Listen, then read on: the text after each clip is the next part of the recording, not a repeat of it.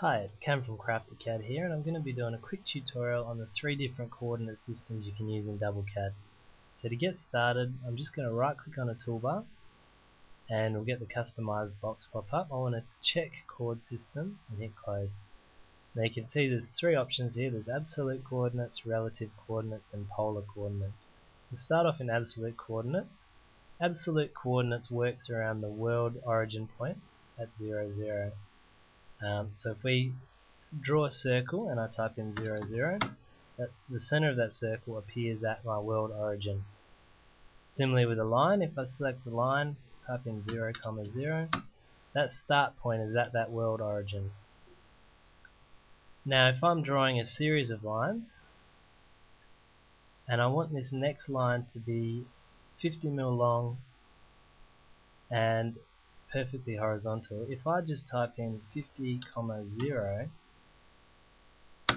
you'll see it actually jumps to a point relative to this world origin so that's 50 mil on the x direction and 0 on the y from that world coordinate so to actually do what I just tried to do I need to draw a few lines and then if I switch into relative coordinates and type in 50 comma 0 what it does, it actually treats the last line, last point that I've drawn as my origin point for the next tool. So if I now type in 0, 0, you see that line starts from the last point that I've drawn. So if I want a line that's 50 mil in the x direction and 50 mil in the y direction, now I can type 50, comma 50.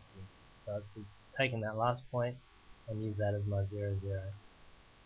Now you can actually force relative points while using absolute coordinates. So if I'm drawing a line, and again I need this line to be 50 mil in the x direction and 50 mil in the y direction, rather than just typing those numbers in, I'm going to type in an at symbol, which tells DoubleCAD that this is going to be a point relative to the last one I've drawn. So type at 50, comma 50, and you can see it's used this as my 0, 0, going 50 in the x and 50 in the y.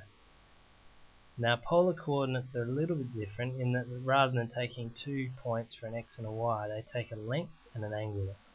So if I need a line that's 50 mil long and 45 degrees, I type in 50, use the less than sign, and type in 45. So that's a 50 mil line from that origin point that I've drawn at a 45 degree angle.